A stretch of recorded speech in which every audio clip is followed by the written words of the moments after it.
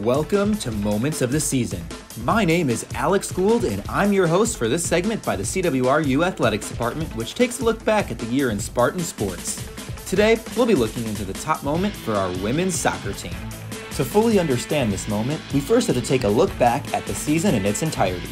Prior to the year, the fifth head coach in CWRU women's soccer history, Jen Simonetti, was hired.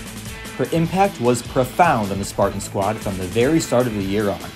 In fact, they began the season on a 9 0 tear while outscoring these out of conference opponents by a stunning margin of 35 to 5 goals. Though CWRU faced their first loss of the season in the opening conference game, the Spartans still had two marquee victories in the UAA against the number 17 team in the nation, the Rochester Yellow Jackets, and the 12th ranked University of Chicago Maroons. By season's end, the Spartans Lady Soccer squad finished the season with an outstanding 13 5 record with 46 goals scored, both school records. The star for the team, Annika Washburn, also contributed a whopping 33 points, the second highest mark in the entire UAA. The extreme success in Jen Simonetti's first season led to a historic moment for the CWRU women's soccer team.